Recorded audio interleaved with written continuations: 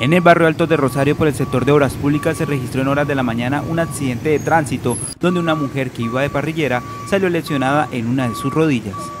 El propietario de la motocicleta asegura que transitaba por ese lugar cuando un perro se le atravesó en el camino.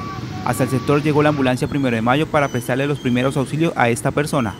Los habitantes manifiestan que en esta vía se vienen registrando varios accidentes de tránsito debido a la falta de semáforos que se encuentran sin funcionar desde hace varios meses.